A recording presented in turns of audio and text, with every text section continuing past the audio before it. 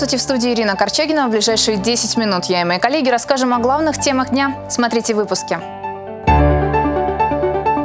Спустя 30 лет барнаульских афганцев сегодня наградили юбилейными медалями.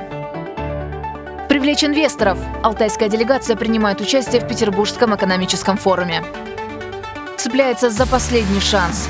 И вот каждый день вот просто сидеть вот это вот, когда это, ну, абсурд этот понимаешь, но с этим очень тяжело жить.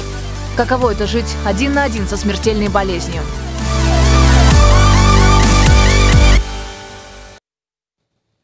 В эти минуты начинает работу Петербургский международный экономический форум. Это одно из главных событий в мире экономики и бизнеса России. Участники форума должны будут сформировать повестку устойчивого развития. В Петербурге работает и делегация Алтайского края во главе с губернатором Виктором Томенко.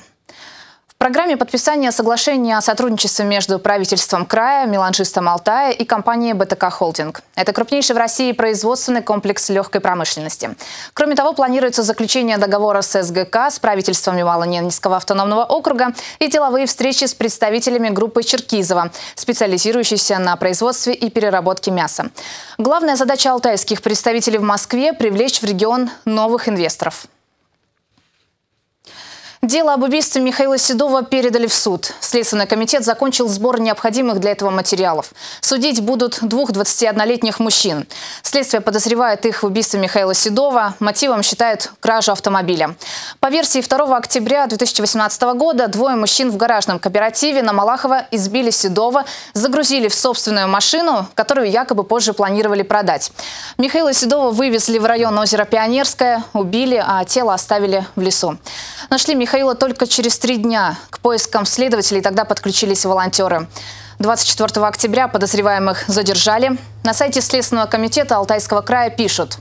В ходе следствия обвиняемые вину не признали, однако следствием собрано достаточно доказательств в совершении ими инкримируемых деяний, в связи с чем уголовное дело с утвержденным обвинительным заключением направлено в суд для рассмотрения по существу. Мужчинам может грозить пожизненное лишение свободы за разбой и умышленное убийство. А с бийскими девушками, которые заставили сверстницу пить из лужи, работают сотрудники по делам несовершеннолетних и специалисты образования. Известно, что до инцидента ни одна из них не состояла на учете, что живут они в благополучных семьях, а в школе о девушках отзываются исключительно положительно. Напомним, накануне в интернете появился ролик, в котором девушку заставили встать на колени и выпить из лужи. При этом физического насилия по отношению к ней издевательницы не применяли. В кадре не появлялись. Но их личности быстро установили. По словам уполномоченного при губернаторе по правам ребенка Ольги Казанцевой, в Бийске разрабатывают план воспитательной работы для троих девушек. Кроме того, детский омбудсмен предполагает, цитата, их включение в конструктивную социальную занятость. Что это значит, не уточняется. Напомним, еще вчера Следственное управление начало проверку. Что касается пострадавшей девушки, с ней сейчас работают медики и психологи. Медали спустя 30 лет. Сегодня в Барнауле наградили ветеранов боевых действий в Афганистане. В этом году в России отметили 30-ю годовщину вывода советских войск из республики. Сейчас в крае проживает 4,5 тысячи афганцев. Большинство из них были срочниками, кому-то едва исполнилось 19-20 лет. Напомним, советские войска более 9 лет выполняли интернациональный долг на территории Афганистана. Погибло 420 жителей региона. Мой товарищ, который действительно был боевым таким офицером, э, ну, сказал, что я приду к своим землякам в военной форме одежды с наградой. Ну, э, награду он получил посмертно. Я за него теперь прихожу в форме. Жители Ключевского района не позволили отнять у них кинотеатр и детский лагерь. Местные власти решили продать муниципальную собственность, но людям это не понравилось. В лагере возили детей не только из Ключевского, но и из соседних районов. В ответ на запрос прокуратура края подтвердила, что действия руководства района незаконно, а сделку по приватизации будут оспаривать. По словам жителей, имущество продавали под предлогом оптимизации расходов. В прокуратуре сообщили, детский лагерь закрыли с нарушением закона о гарантиях прав ребенка, потому что решение было принято без положительного заключения специальной комиссии. Кроме того, выяснилось, что и продажа кинотеатра была незаконной, поскольку для участия в торгах поступила только одна заявка. Люди против продажи кинотеатра, потому что вот В соседнем нашем районе, в Кулунде, кинотеатр востребован. Люди ходят, в него даже наши ключевские жители, вечером собираются взрослые люди, едут в кинотеатр в Кулунду. Наших детей из школ возят автобусами в кинотеатр в Кулунду, соседний район. Угу. Для чего продавать кинотеатр, да, если он востребован будет? Сделать счастливее могут простые вещи. Например, обыкновенный компьютер. Саше Лощинину, который болен смертельным заболеванием, благотворительный фонд подарил компьютер. Теперь парень сможет зарабатывать в интернете и помогать маме. Только вряд ли на фрилансе получится заработать столько, чтобы сдерживать развитие своей болезни – миопатии.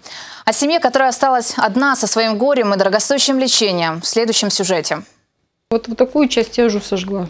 Просто читая очередную отписку, случилась истерика, я ее сожгла. Неутешительные ответы Минздрава, Крайздрава, администрации города. Семья Лощининых осталась один на один со своей проблемой. Сын Натальи Саша болен редким заболеванием – миопатией. Проще говоря, постепенно у него отмирают мышцы, искривляется позвоночник. Сейчас ему 16 лет. Ходить Саша перестал уже в 9. Как таковой помощи семья не получает. Орфанных заболеваний во всем мире 230. В России признано, вот есть же списки, по которому лечить орфанные заболевания. И на, в 2019 году их разделяют на два списка. В одном 12, в другом 19 болезней. Все остальные у нас как бы государством отметаются. Мы как раз относимся к тем, которые не входят в эти списки. Тренажеры, лекарства, бассейн – все за свой счет. Но главное, что не делай, жизнь ребенка стремительно укорачивается. И вот каждый день вот просто сидеть вот это вот, когда это, ну, абсурд этот понимаешь, но с этим очень тяжело жить. Чуть веселее стало жить, когда у Саши исполнилась большая мечта. Скоро ему подарят компьютер. Пока в комнате стоит этот, временный, но его скоро придется вернуть школе.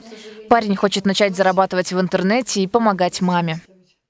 Ну, у меня есть план. Я планирую научиться лучше рисовать и сделать свою игру. Простую, правда, ну, первую. Как-то вот отношение к жизни совсем другое стало. Как-то радостных моментов больше. Ну и Саша сейчас, он в предвкушении этого компьютера, он даже на улицу стал э, э, чаще выходить. В скором времени Сашу ждет операция, которая должна выровнять позвоночник и суставы. После нее парню понадобится инвалидная коляска с вертикализацией. Она сможет выпрямлять спину и ноги. Только стоит такая коляска от 400 до 700 тысяч рублей – для Натальи, которая одна воспитывает двоих детей, это космическая сумма. Но и эта же коляска – последний шанс, чтобы выиграть у жизни несколько счастливых лет. Ирина Корчегина, Александр Антропов. День с толком. Далее о погоде. Спонсор прогноза – компания «Эвалар». У меня к этому часу все новости. До встречи в эфире.